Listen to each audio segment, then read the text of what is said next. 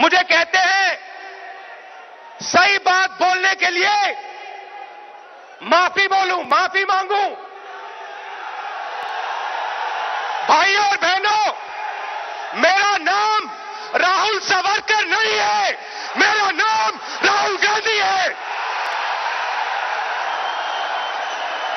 मैं सच्चाई के लिए कभी माफ़ी नहीं मांगूँगा। मर जाऊँगा, मगर माफ़ी नहीं मांगूँगा।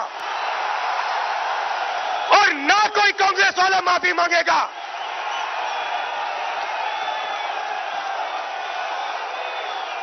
माफ़ी नरेंद्र मोदी को माननी है।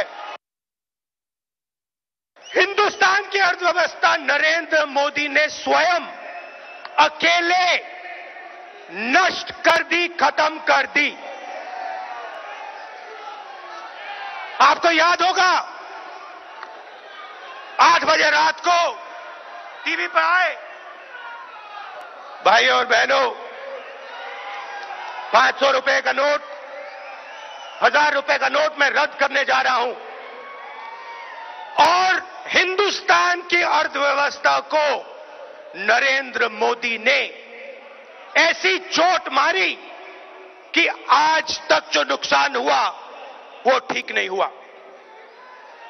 आपसे झूठ कहा आपसे झूठ कहा कहा। काले धन के खिलाफ लड़ाई है। काले धन को खत्म करना है। भ्रष्टाचार के खिलाफ लड़ना है। झूठ कहा।